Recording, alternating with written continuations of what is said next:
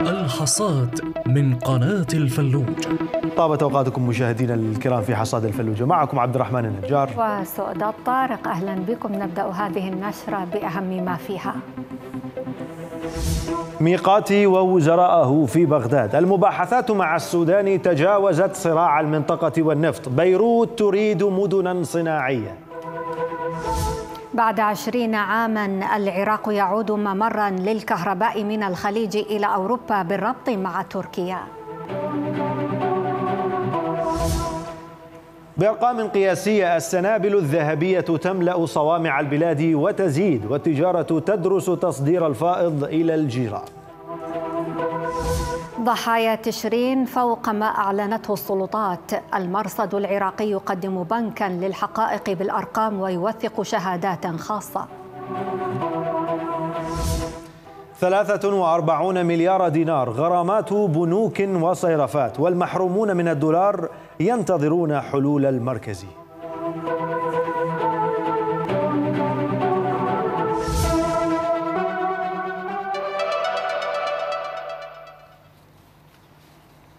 مرحبا بكم من جديد وإلى التفاصيل إذ قال رئيس حزب السيادة الشيخ خميس الخنجر إن الرأي الاستشاري لمحكمة العدل الدولية الذي يعتبر الأراضي الفلسطينية محتلة من الكيان الإسرائيلي هو انتصار للقضية الفلسطينية ولشعبها الصامت. إذا حيث أضاف الخنجر في تدوينة له على منصة أكس أن إكمال المسار القانوني الأممي لإلزام الكيان الغاصب بإيقاف العدوان على غزة وإنهاء مظاهر احتلال المدن والبلدات الفلسطينية كافة. يتطلب استخدام القوانين والقرارات الدولية كافة نحو تحقيق السلم والاستقرار الإقليميين والدوليين مشددا على إلزام الدول العربية والإسلامية بإيقاف التطبيع مع الكيان الصهيوني دعما لتلك القرارات العادلة.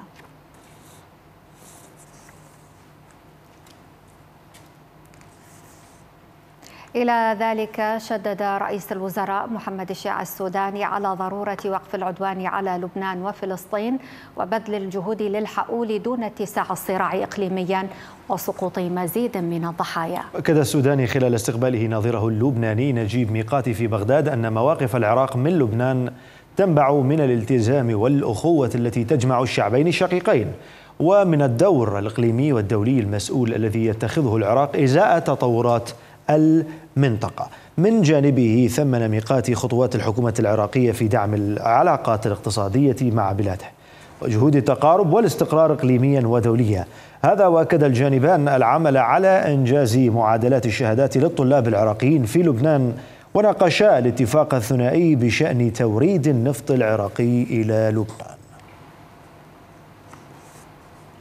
في غضون ذلك بحث رئيس الجمهورية عبد اللطيف جمال رشيد مع رئيس الوزراء اللبناني نجيب ميقاتي بحث تعزيز علاقات الصداقة والتعاون المشترك بين البلدين. وخلال اللقاء أكد رئيس الجمهورية أن العالم يشهد متغيرات وأحداثا متسارعة تتطلب إيجاد صيغة من التعاون المشترك بين جميع دول المنطقة لمواجهة تلك التحديات. من جانبه ثمن ميقات موقف العراق خلال مؤتمر القمة الأخير في البحرين الداعم للبنان موضحا أن ما يربط البلدين أكثر مما يربط لبنان باي دولة أخرى.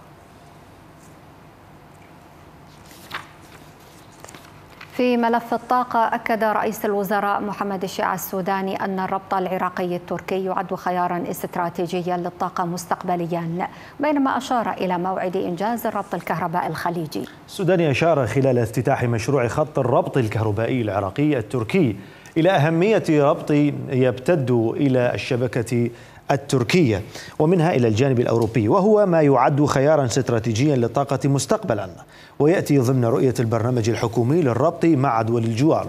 مبينا أن المشروع تمهيد للربط قبل نهاية هذا العام مع هيئة الربط الكهربائي الخليجي ليستكمل العراق تواصله مع منظومة الطاقة الإقليمية بما يسمح بالتنوع والتبادل في مختلف ظروف ذروة الأحمال الكهربائية. من جانبه قال وزير الكهرباء زياد علي فاضل خلال الافتتاح إن المشروع يغذي المنطقة الشمالية والمنطقة الوسطى ب 300 ميجاوات. هذا واحد من مشاريعنا الاستراتيجية اللي دولتكم متبنيتها بتفعيل الربط مع دول الجوار وإن شاء الله اليوم آه، تشرف حضرتك مباشر على تشغيل هذا الخط وتغذية المنطقة الشمالية وبالتالي آه، تغذية المنطقة الوسطى ب 300 ميجا واط وهذا واحد من المشاريع المهمة والاستراتيجية اللي دولتك ركز عليها وأكملنا كوزارة كل متطلبات الربط من إنشاء محطة 400 إنشاء خطوط 132 استخدمنا تقنية الأسلاك الحرارية بهذا المشروع. قيمة هذا المشروع وأهميته أنه كان متوقف منذ عام 2004 وهو كان مخطط له منذ التسعينات. اليوم أنجز بهمة العراقيين الفنيين الأخوة الأعزاء بعمل متواصل بمحطات ثانوية وخطوط وتفاهمات وتنسيق مع وزارة الطاقة التركية. أيضا قيمة هذا المشروع أنه لأول مرة يكون عندنا ربط دولي مع جارة تركيا ومن ثم إلى الاتحاد الأوروبي. وهذا عامل مهم واستراتيجي للطاقة على المستوى المستقبلي. من جانبه أوضح المتحدث باسم وزارة الكهرباء أحمد موسى أن المشروع الرابط بين العراق وتركيا ظل متلكئا لعشرين عاما وجرى التخطيط والتصميم على إنجازه ليدخل العمل هذه السنة مع ذروة الأحمال الصيفية. كده موسى أن تركيا مرتبطة بشبكات النقل الأوروبية ومن خلال الربط العراقي التركي سيتاح للعراق الربط مع أوروبا وتبادل المنفعة من خلال موقع البلد مضيفا أن المشروع خطوة مهمة للحكومة ووزارة الكهرباء لتنويع مصادر الطاقة بالتنسيق مع الربط الكهربائي مع الأردن الذي دخل العمل في المرحلة الأولى.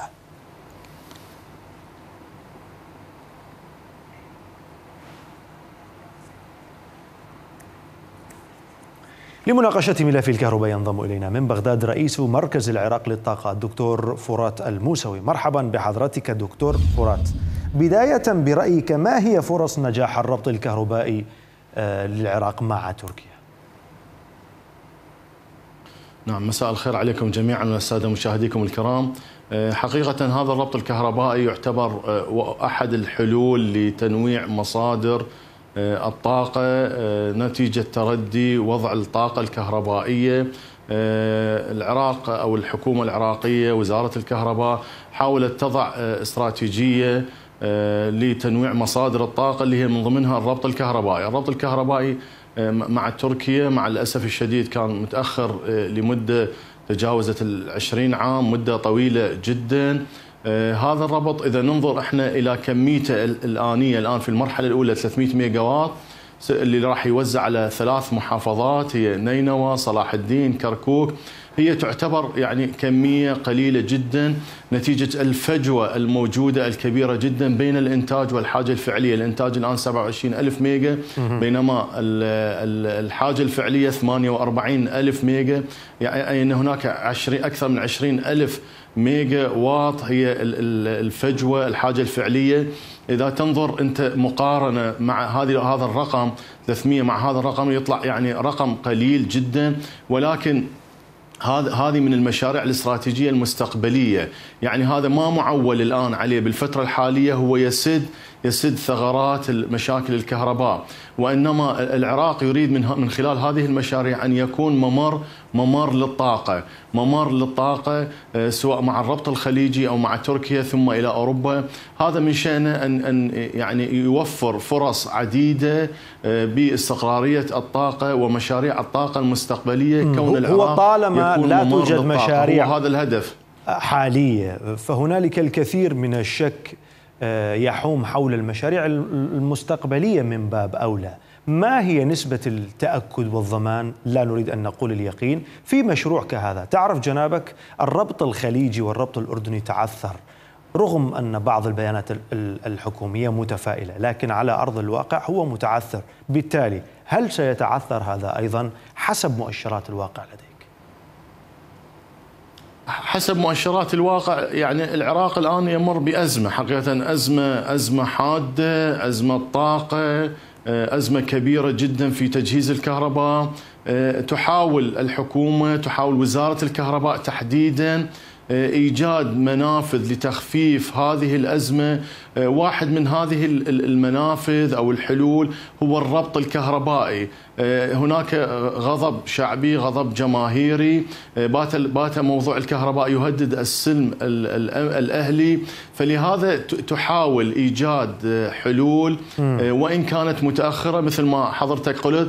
يعني الربط الأردني لحد الآن المفروض يمر بثلاثة مراحل يصل إلى 500 ميجا واط بينما الآن هو فعليا 40 ميجا واط وهذا هذا رقم يعني رقم لا يكفي يعني لمنطقة صغيرة جدا. لا حتى حتى يعني من المعيب أن واحد يتكلم به. يعني رقم لا يساوي. ولهذا ينتظرنا العديد من المشاريع المتعثرة على ما يبدو من وجهة نظر الكثير من الاقتصاديين والخبراء في مجال الطاقة. لكن أريد أن أسألك بحكم اختصاصك نعم كدكتور نعم. سؤال آخر. هل تؤمن بإمكانية نعم. تنويع العراق لمصادر طاقته وهذا الكلام الذي يروج من قبل الحكومة طبعا. بوقت قياسي هل تؤمن بذلك أن العراق سوف ينجح بوقت قياسي في تنويع مصادر الدخل الطاقة أم ما يزال أمامه الكثير طب من الوقت؟ طب اي طبعا.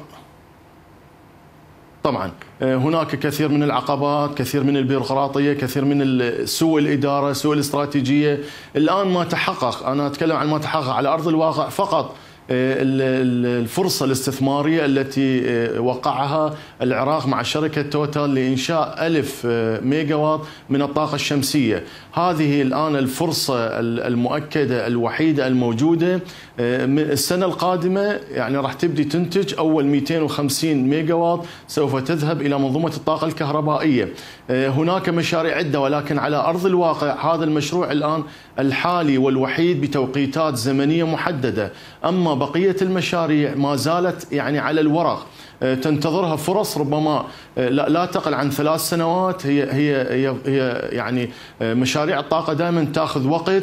ولكن البداية إحنا نعاني العراق حقيقة يعاني من مشكلة البداية، مشكلة التوقيتات الزمنية المحددة، فالمشروع الوحيد الآن اللي هو أصبح في في على أرض الواقع هو مشروع الطاقة الشمسية في شركة توتال. هذا هو واحد من أهم المشاريع تنويع الطاقة، أيضا هناك مشروع صغير جدا هو مشروع تدوير النفايات الآن في بغداد.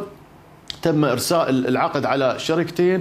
الآن سوف يبدأ الإنتاج حقيقة بالإضافة إلى تحسين البيئة داخل بغداد. سوف يضيف بحدود 90 ميجا واط إلى منظومة الطاقة الكهربائية في بغداد. هذول فقط المشروعين الآن المؤهلين أن يكون يعني على أرض الواقع وتقدر أنت تقول عليهم تنويع مصادر الطاقة. مم. أما غيرها من مشاريع لحد الآن ما زالت على الورق. إذا لا جهود حقيقية حتى الآن توازي ما صرف على الطاقة بمقدار 80 مليار دولار وربما الأرقام التي تقول 100 مليار دولار أيضا تكون منطقية. شكرا جزيلا إليك من بغداد كنت معنا رئيس مركز العراق للطاقة الدكتور فرات الموسى. الأخبار مستمرة. في الشأن الزراعي أكدت الشركة العامة لتجارة الحبوب في وزارة التجارة نجاح الموسم التسويقي الحالي. بينما أعلنت أن الكميات المسوقة من الحنطة للموسم الحالي بلغت أكثر من ستة ملايين طن وهي الأعلى بتاريخ البلاد على الإطلاق. قال مدير الشركة حيدر نوري القرعاوي إنه تم تسليم أكثر من ستة ملايين طن خلال ثلاثة أشهر فقط وهو ما لا يمكن لأي دولة في العالم أن يتسلم موظفوها هذه الكمية خلال مدة زمنية قصيرة. مؤكدا أن العراق حقق اكتفاء ذاتيا بشكل كامل وخزينا استراتيجيا لثلاثة أشهر إضافة إلى مليون ونصف المليون طن فائضة عن الحاجة مبينا أن هناك فكرة لتصدير الكميات الفائضة إلى دول الجوار.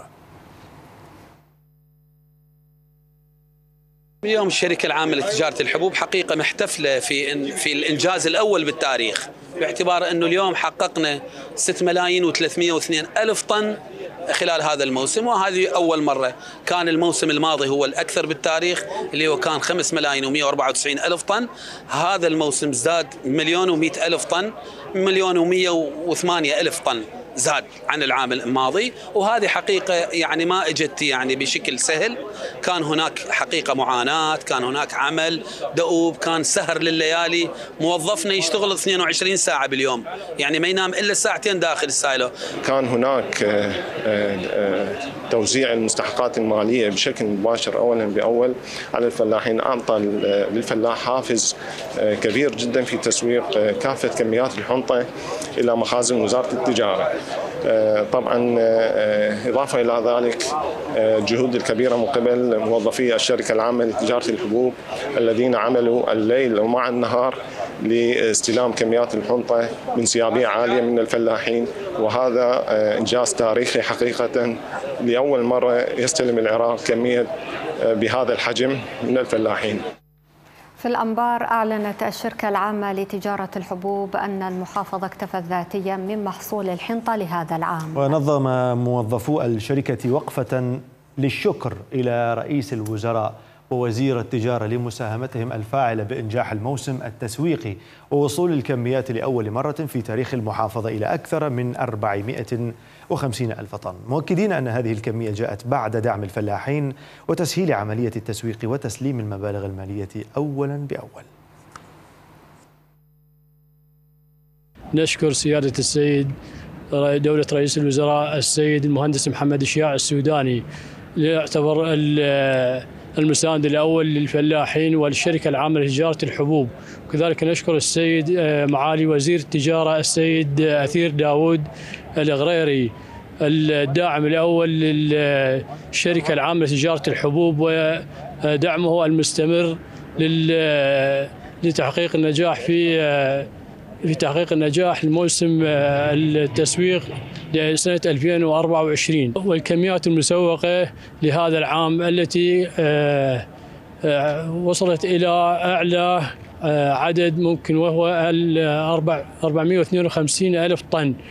ولا ولا يتحقق هذا الكمية في السنوات الباقية. نشكر دولة السيد رئيس الوزراء المحترم محمد الشياع السوداني بتكثيف كافة الجهود لموظفي الشركة العامة لتجارة الحبوب آه، والحمد لله تم الاكتفاء الذاتي محصول الحنطة لعام 2023-2024 آه، تم تكثيف الجهود لموظفين الشركة العامة لتجارة الحبوب بالعمل 24 ساعة آه، لاستلام كافة الكميات من المسوقين والفلاحين.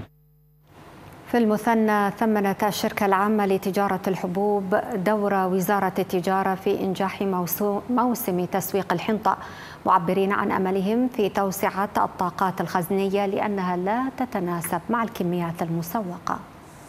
بداية نشكر الله سبحانه وتعالى على نجاح هذا الموسم ونشكر آه، السيد رئيس الوزراء على دعمه والسيد آه، وزير التجارة أثير الغريري ومدير عام تجارة الحبوب السيد حيدر القرعاوي على دعمهم ومواصلتهم ومتابعتهم لموضوع التسويق.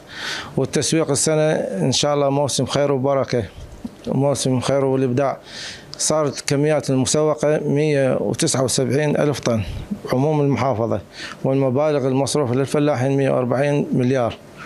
ونشكر القوات الساندة الأمن الوطني الشرطة الرقابة كل مفاصل المحافظة من المحافظ من نائب المحافظ جهود كافة المحافظة.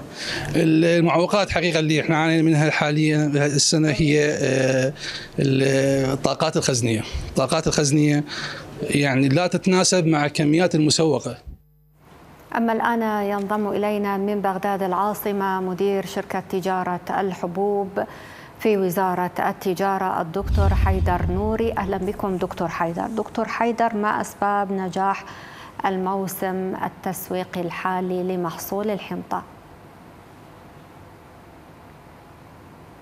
نعم بسم الله الرحمن الرحيم. شكرا جزيلا لكم ولمشاهديكم الكرام.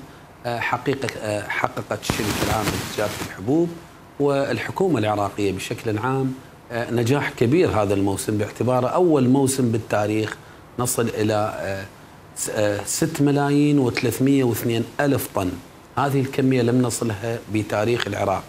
آه، تقضي بأنه نصل إلى الموسم القادم وخزين ثلاثة أشهر إضافة إلى مليون ونصف آه، طن من الحنطة فائضة عن الحاجة.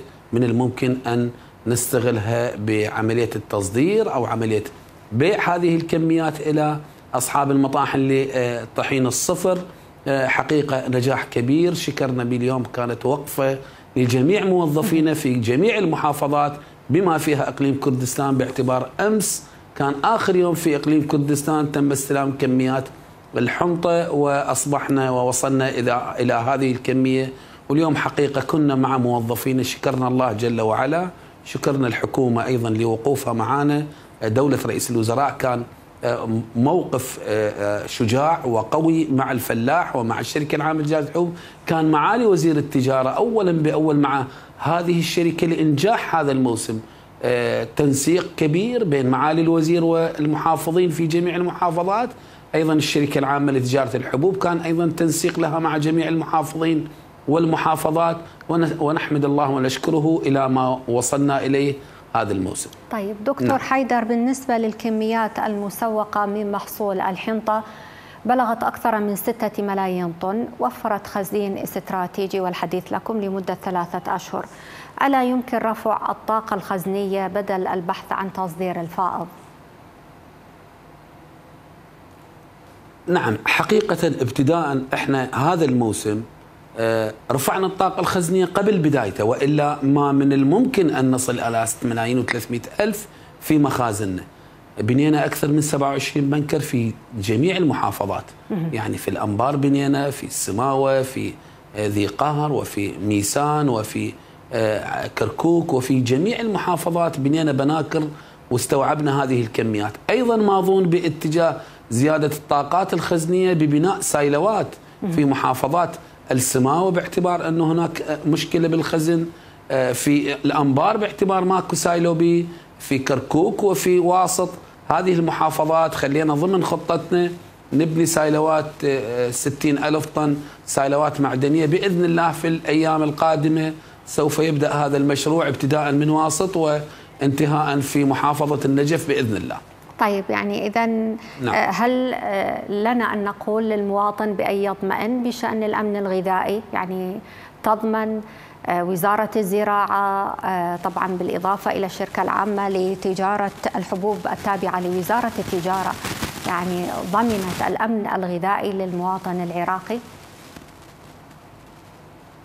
مئة بالمئة ضمننا الأمن الغذائي للمواطن فيما يتعلق بمادة الحنطة يعني الطحين لمدة سنة وثلاثة أشهر إضافة إلى مليونين مليون وخمسمائة ألف طن قابلة للتصدير هذه فائضة عن الحاجة. بإذن الله خلال الفترة القادمة آه، سيكون هناك لنا جدول لعملية آه، التخلص منها باعتبار بيعها نعم. إلى آه، الدول المجاورة الأخرى أو طحنها في موضوع الطحين الصفر بإذن الله كان موسم نعم. رائع كان يعني تخلل هذا الموسم تعب كبير بالنسبة للموظفين 24 ساعة جهود متواصلة في عملية الاستلام من الفلاح الفلاح كان فرحان هذا العام باعتبار أنه كل نعم. هذه المحافظات استلمت المبالغ المالية طيب دكتور آه، أولا بأول بإذن طيب الله. يعني نعم. الموسم الحالي فاق التوقعات كما تفضلتم هناك أيضا مخاوف بأن يجهز الموسم المقبل على كل التوقعات ماذا في خطط وزارة التجارة الزراعة الموارد المائية بشأن ذلك؟ حقيقة خططنا إحنا كوزارة تجارة هي آه، ابتداء موضوع المخازن. يعني آه، يجب أن نتوجه إلى مخازن وبناء المخازن من الآن. إحنا توجهنا إلى بناء السايلوات ليس المخازن فقط وأيضا المخازن. إضافة لذلك إحنا الشيء المهم إنه نجد وسيلة لبيع هذه الكميات الفائضة عن الحاجة. هذا المهم باعتبار إنه كنا دولة مستوردة للقمح. اليوم إحنا دولة مصدرة تعتبر للقمح نعم. حقيقة هذه الكميات الكبيرة حتى راح يعني ألا تجد الحنطة العراقية لها سوقا في المنطقة خاصة أن الوزارة تحدثت عن تصدير محصول الحنطة الفائض من محصول الحنطة إلى يعني جيرانه إلى جيران العراق. نعم هناك يعني تنسيق مع الدول المجاورة وحقيقة بالدول المجاورة كثير منها يعني ما وصلت للاكتفاء الذاتي من الحنطة ومن نعم. الممكن أن يكون التنسيق في عملية بيع هذه الحنطة أو يعني مبادلة بالخدمات بإذن الله. توضحت مدير شركة تجارة الحبوب في وزارة التجارة الدكتور حيدر نوري شكرا جزيلا لكم لانضمامكم إلينا. الأخبار مستمرة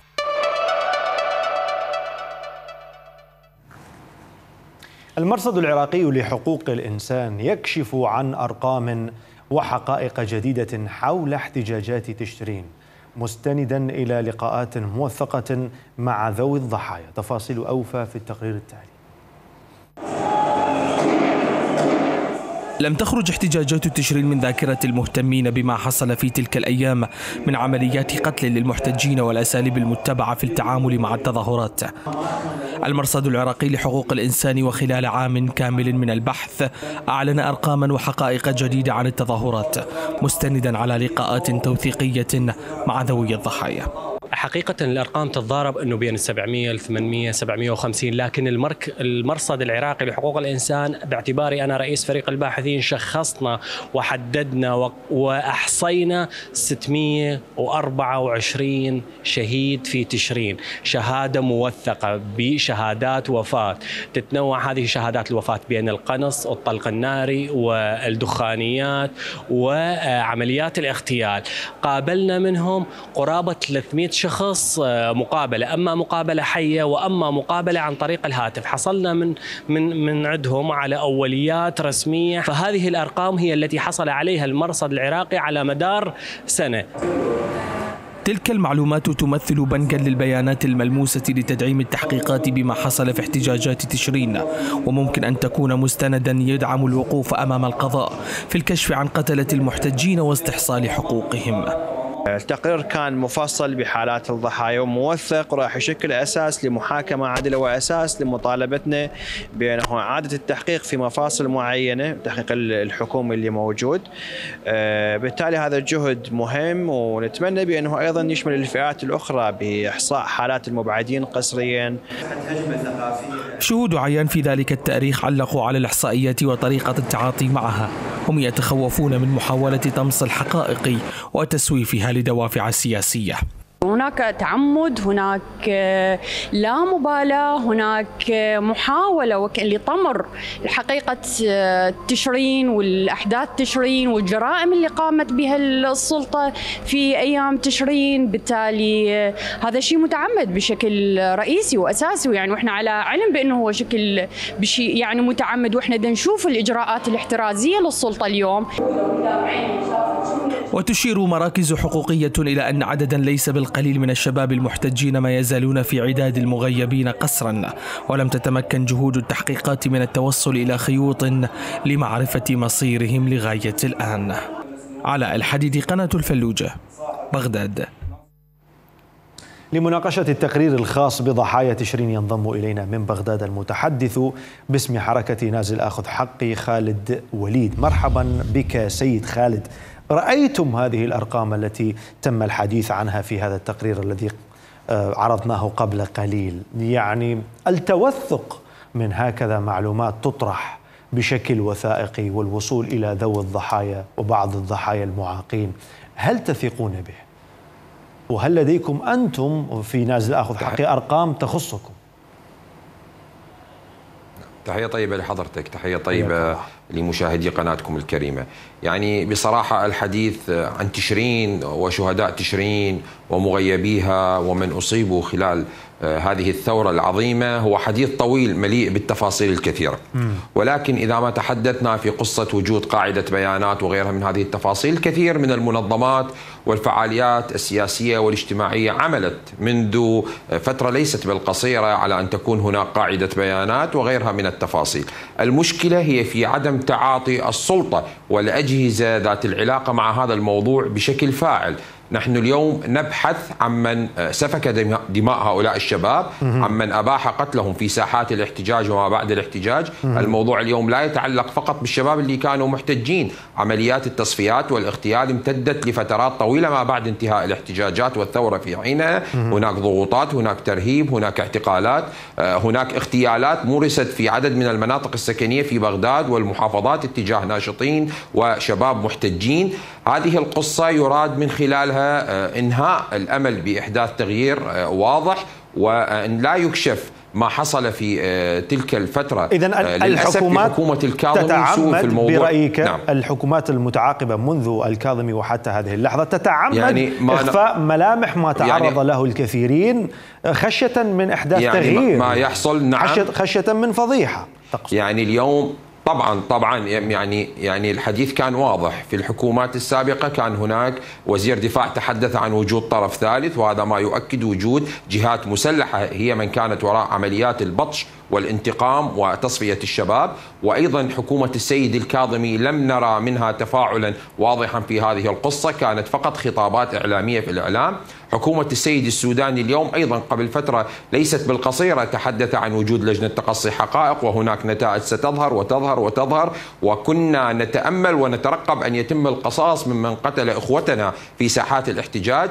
للأسف النكبة الكبيرة هو بفشل من مثل الاحتجاج داخل القبة التشريعية للبرلمان من نواب محتجين أو مستقلين لم يستطيعوا حتى اللحظة أن يكونوا كتلة نيابية ضاغطة من أجل تحقيق حقوق هؤلاء المغيبين أو الشهداء وحتى جبر ضرر عوائلهم الاكتفاء بالخطابات وتوجيه التخوين لهذه الجهة أو لهذا الفصيل والحديث بقصة السلاح المنفلت هذا ممكن يصدر من جهات سياسية خارج قبة البرلمان أو الحكومة لا أن يصدر من نواب هم فاعلين داخل قبة البرلمان وعليه عليهم أن يكونوا على قدر المسؤولية وعلى قدر الأصوات التي منحت لهم من شباب الاحتجاج من أجل الدفاع عنهم وحماية أمنهم وأرواحهم نعم. وهي لم تفعل ذلك الحكومات المتعاقبة حتى يعني حدث ببعض يعني ببعض نعم. ال ال يعني المتعرضين لهذه الضغوطات الذهاب خارج العراق وأصبحوا نشطاء ناقمين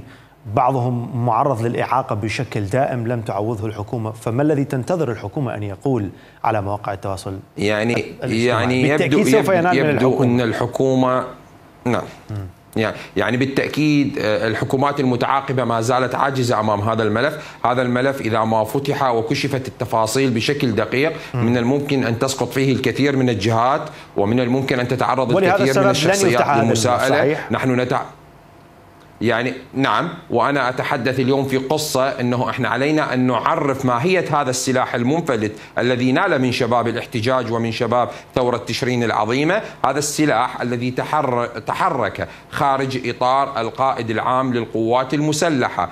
بتوجيه من زعامة سياسية أو زعامة تدعي إنها دينية في محاولة للسيطرة على الأوضاع في حينها بحجة انه هؤلاء الشباب هم جوكرية وأبناء سفارات وخونة و و و و وكل هذه التفاصيل لمحاولة شيطنة هؤلاء الشباب الذين لم يكن لهم سوى شعار واحد نريد وطن ونبحث عن وطن وما زالت الشيطنة حتى اللحظة حاضرة حتى في قضية الاحتجاجات المطلبية التي في بغداد المحافظات ذات الأصوات النشاز التي كانت تخون الشباب في ثورة تشرين تعود اليوم لتخوين أي مواطن عراقي يبحث عن حقه في هذا الوطن.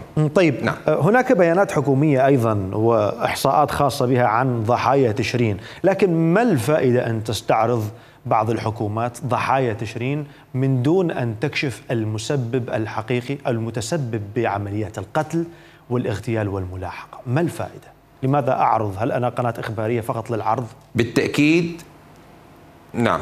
بالتأكيد نحن لا نبحث عن إحصاءات وقاعدة بيانات فقط من أجهزة الدولة. نحن نبحث عن فتح ملفات تحقيق كاملة عن بيان الجهات والشخصيات المتورطة عن تقديمها للعدالة على أن كيف نتحدث بها؟ نتحدث بهذا الأسلوب البسيط. أكو قلوب أمهات مفجوعة تبحث عن القصاص من قتلة أولادها.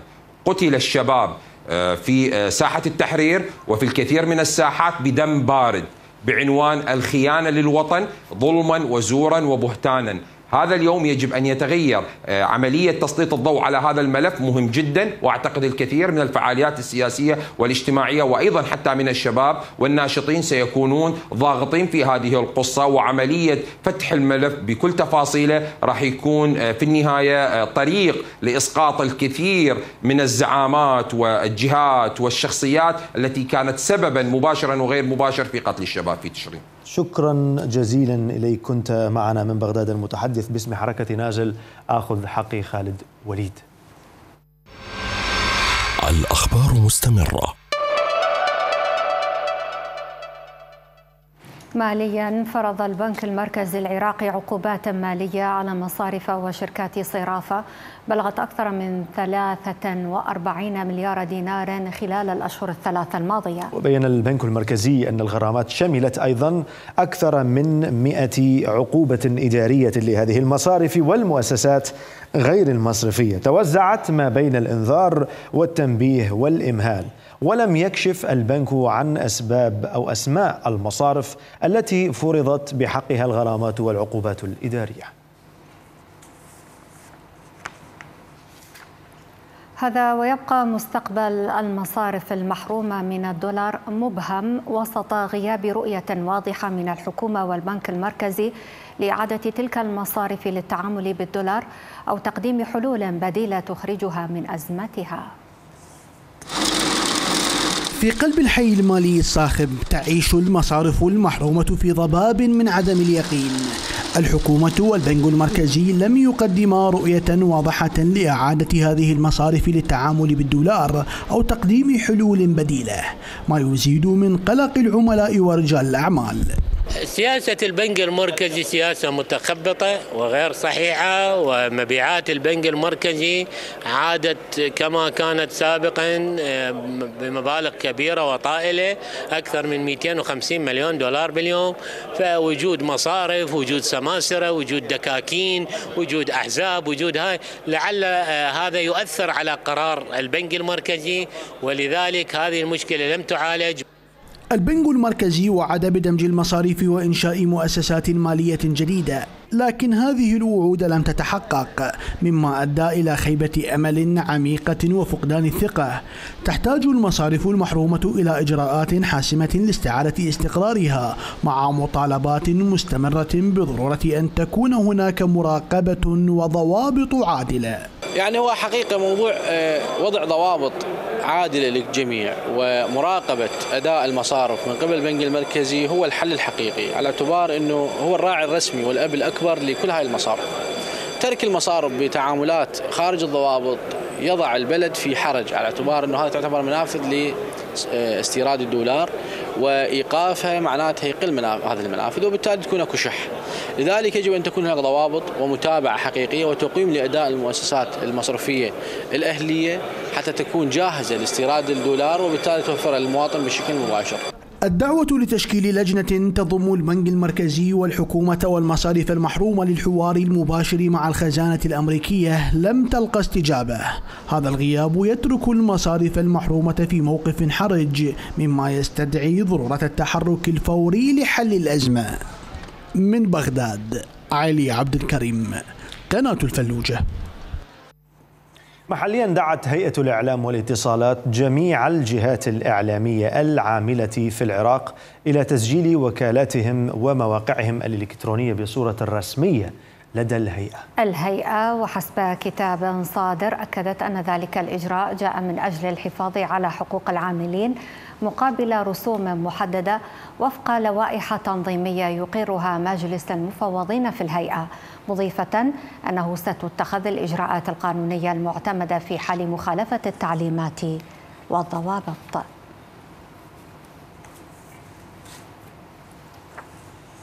بحث عضو مجلس محافظة الأنبار عدنان الكبيسي مع مدير الحماية الاجتماعية سبل دعم الشرائح المجتمعية المشمولة بعناية وزارة العمل. شدد الكبيسي على ضرورة تنفيذ التعهدات التي قطعها وزير العمل. في تنفيذها أحمد الأسدي خلال زيارته الأخيرة إلى الأنبار داعيا إلى الإسراع في إطلاق الوجبة السابعة للمشمولين بالرعاية الاجتماعية.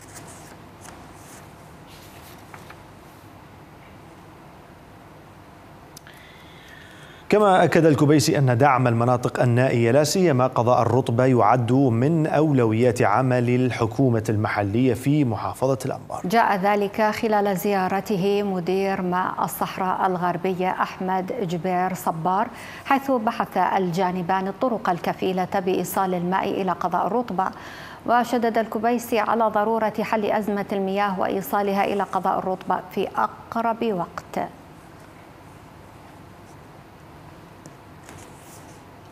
تبرأت قبيلة عنزة من المدعو حيدر جواد الذي ينسب نفسه زورا وبهتانا لعائلة الهذال أمراء قبيلة عنزة العريقة. وطالبت القبيلة في بيان لها وزارة الداخلية باتخاذ الإجراءات القانونية بحق المدعي محذرة من أمثاله الذين يثيرون الفتنة بين أبناء الشعب العراقي. مضيفة أن قبيلة عنزة تسعى إلى توحيد الصفوف والابتعاد عن الفتن التي تحاول جر العراق إلى منزلق خطير بحسب وصفها. ومن دون مزيد من التفاصيل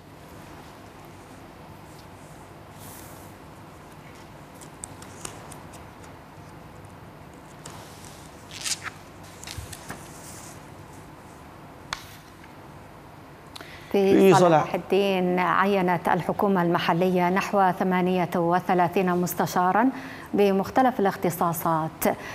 آمر أمر رآه مواطنون وناشطون في المحافظة مبالغا به مشيرين إلى أن المحافظة لا تحتاج إلى هذا الكم الهائل من المستشارين بقدر تقديم الخدمة. تفاصيل أوفاء في التقرير الآتي. محافظة صلاح الدين تعين عددا مبالغا به من المستشارين للمحافظ.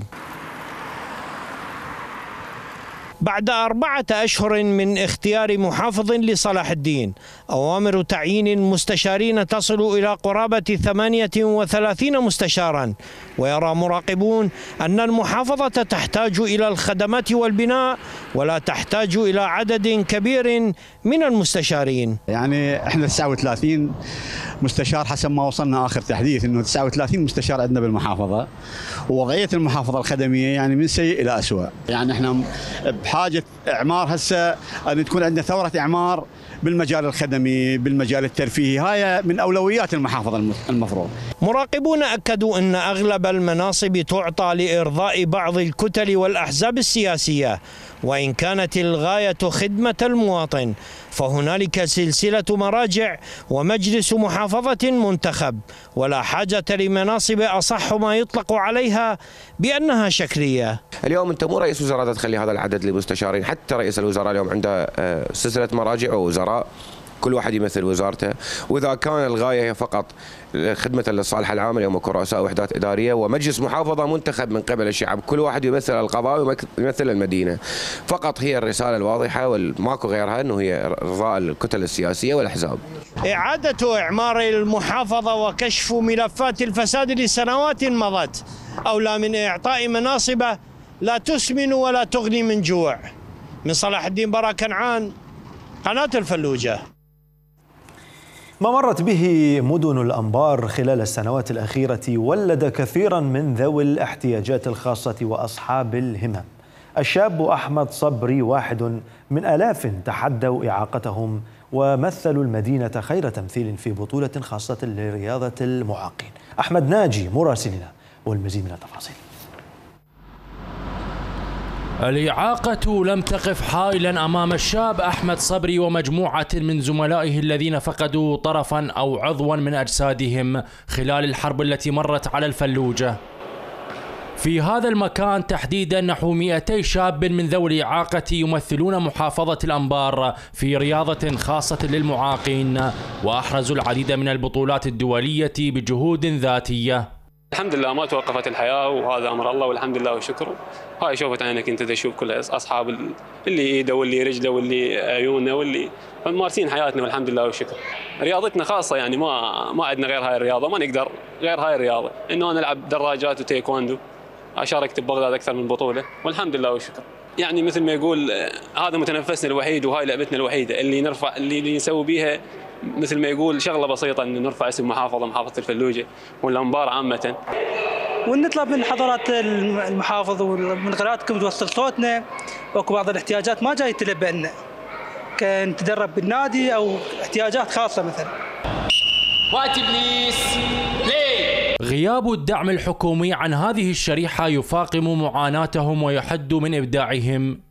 لا سيما أن كثيرا منهم بلا مورد شهري يعينهم على مشقة الحياة وسط دعوات لتوفير الاحتياجات الأساسية لهذه المواهب الأنبارية.